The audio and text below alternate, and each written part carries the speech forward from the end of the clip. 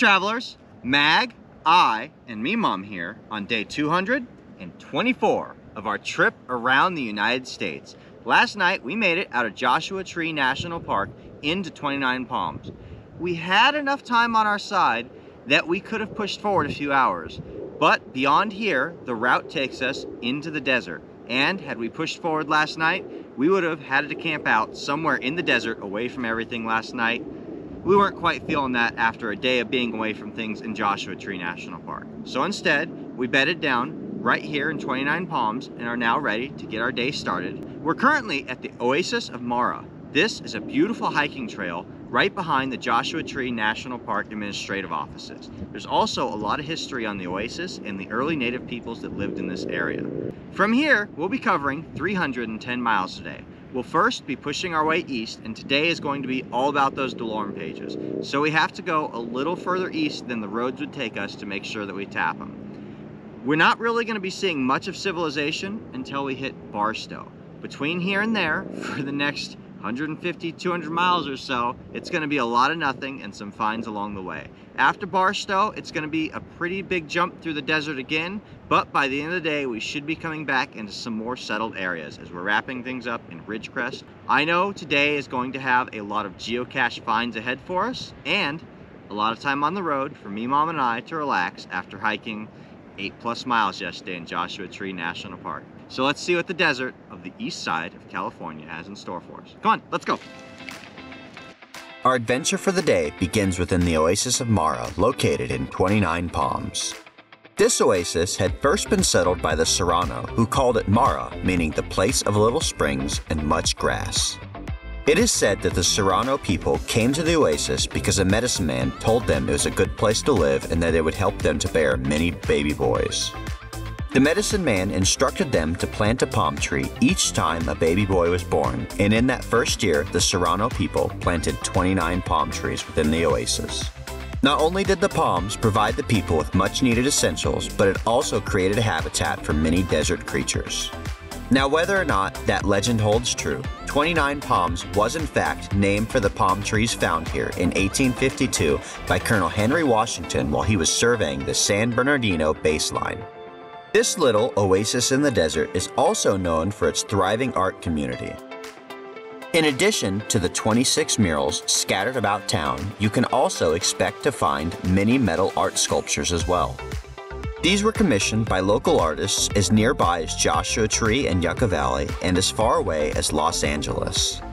Although we did not spend an abundant amount of time here in 29 Palms, there was quite a bit to see before we pushed out to the edge of town and began making our way further into the desert for the day. And that would about sum up why we decided to stay in 29 Palms last night before heading off into the desert for the next series of pages we have to go after. It's gonna be a while till we see signs of civilization again. In order to reach DeLorme page 145, we need to push east along 29 Palms Highway, past the Cleghorn Lakes Wilderness Area to the edge of the Sheephole Valley Wilderness Area. From there we backtracked to Amboy Road, headed north into Amboy, and then pushed a little bit east out of the city limits to reach DeLorme page 133. This route ensured we stayed on the desert roads all morning long.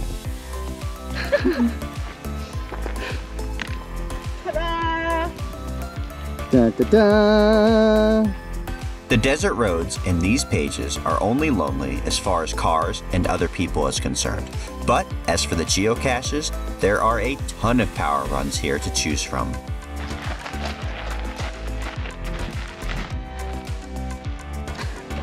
There. We have another geocache! Me mom on the move. She's got the target in sight. And the branch Could it be? Could it be? It sure is. Another micro in the desert under a suspicious pile of rocks. I think might have a geocache. What? Who would have thought this would be hiding there under that not so suspicious pile of rocks? For the most part, each time we hopped into a new page, we would pick a handful of geocaches out of the power run and quickly track them down. Every now and then, though, we would come across the opportunity for something different, and we certainly were not about to pass up on an ammo can located out here in the desert. The occasional find like this, whether an ammo can or something else unique, was a nice break from all the Power Run geocaches that we were finding all morning long. Our chosen course for the day also had us coming on and off Route 66 at various points. Route 66 begins its journey through California at Needles and winds its way through towns like Amboy, Baghdad, and Barstow before finally making it over to the coast in Santa Monica. The opening of Interstate 40 drove all traffic away from Route 66 almost overnight. This meant that all the towns along the route that relied on tourism saw their sources of income dry up in no time at all. What you see instead in several of these places are living ghost towns. Places where you can find many hints of signs of towns that have seen better days and purchase the occasional souvenir or coke before moving on down the road. One geographical feature that you are sure not to be able to miss in this area is the Amboy Crater, a dormant cinder cone volcano that rises above a 27 square mile lava field in the eastern Mojave Desert. The cinder cone is estimated to be about 80,000 years old, with the most recent eruption about 10,000 years ago. This had proven to be a very popular stop along Route 66 during its heyday, as this is one of just a few extinct volcanoes that can be found along the entire route. After checking out all the touristy sites, we decided to take on our biggest adventure for the day, which would require us to traverse some pretty hairy roads to get to the place we wanted to be. We simply could not resist. On my target list, I had a 2002 very old geocache located at a confluence.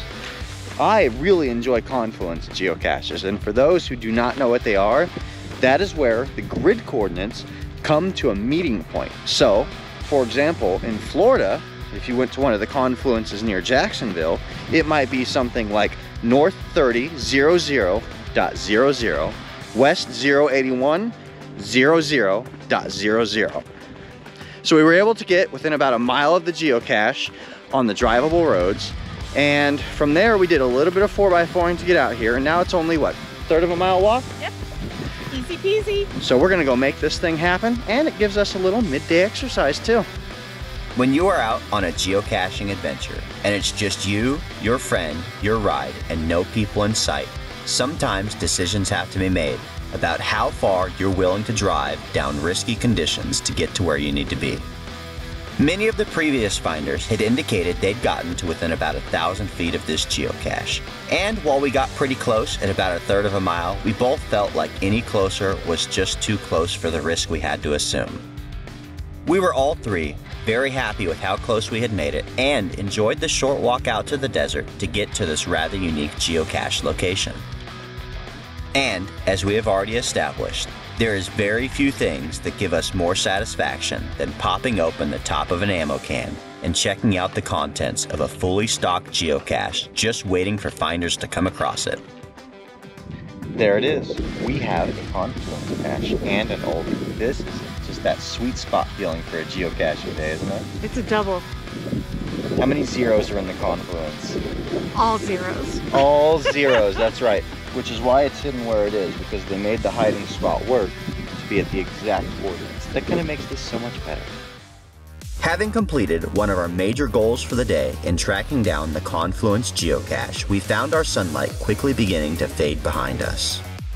But with still a little bit of daylight left on our side, we enjoyed the sights that we had in front of us, making our way through Barstow toward Boron.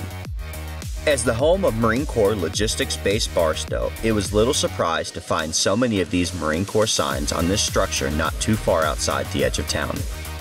By the time we reached the city of Boron, that light was almost entirely gone.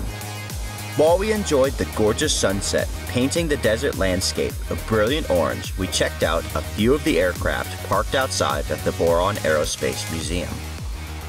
A couple of the pieces of information we needed to complete the virtual were located here, while the rest were across the street in Pioneer Park. While we did not have time for much here, we did learn that Boron is the borax capital of the world, named so as the site of the world's largest source of boric acid. All right, travelers, that is going to do it for our day. We have made it to Boron, the borax capital of the world. And what better way to be able to celebrate that than with some of these big trucks that help make that happen. We have pretty much been in the desert all day long. All day long. Once we left 29 Palms, it was pretty much exactly what I'd expected and what we talked about last night. We were just going to be driving through the desert non-stop. And I'm glad that we waited until the daylight to do it because it turned out it was beautiful views. As you're coming in out of the mountains, you'll be dropping into a valley and you'll have a mountain spread out in front of you. And you'll be driving toward it for 30, 40 minutes. And sometimes it doesn't feel like it's gotten any closer. But the view has been splendid the whole way through. We are still about two pages shy from being able to finish our night, which is in good time for schedule, but not in good time for sunlight. So we are going to push through through the night and get ourselves through Ridgecrest and Trona, and that's where we're gonna stop and be ready to take on the miles we have in front of us tomorrow. Thank you guys for joining us on this tour of the desert. We've actually had a pretty good time. After all the hiking that we've done, it was nice to have a road day like that too. Like this video, subscribe to stay tuned for daily updates, and we'll see you out on the trails.